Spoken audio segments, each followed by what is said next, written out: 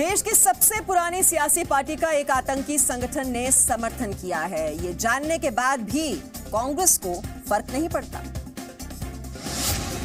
जम्मू कश्मीर में राज्यपाल शासन लगाने पर लश्कर ए तैयबा ने कांग्रेस के रुख का समर्थन किया। लश्कर ए तैयबा ने बयान जारी किया, कहा, कांग्रेस ने बिल्कुल ठीक कहा। गुलाम नबी आज़ाद ने सेना और सरकार पर आरोप लगाए।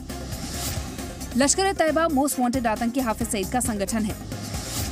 गुलाम नबी आज़ाद ने कहा कि कश्मीर में आतंकियों से ज़्यादा नागरिकों को निशाना बनाया गया। आतंकी महमूद शाह ने चिट्ठी जारी कर कांग्रेस के रुख का समर्थन किया और कहा कि शुरुआत से ही हमारी राय वही है जो गुलाम नबी आज़ाद की रही है। हिंदुस्तान कश्मीर में राज्यपाल शासन लगाकर दोबारा जगमोहन युग की शुरुआत करना चाहता है और निर्दोषों का कत्लेआम करना चाहता है। उन्होंने आतंकवादी बताए कितने मारे गए, लेकिन ये नहीं बताइए कि आर्मी वाले कितने मारे गए। ये नहीं बताया कितने बच्चे आँखों से आ, आ, महरूम रहे।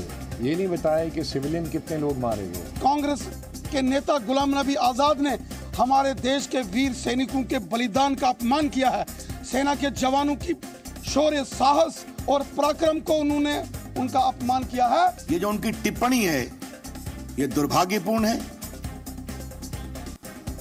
शर्मनाक है और गैर जिम्मेदार ना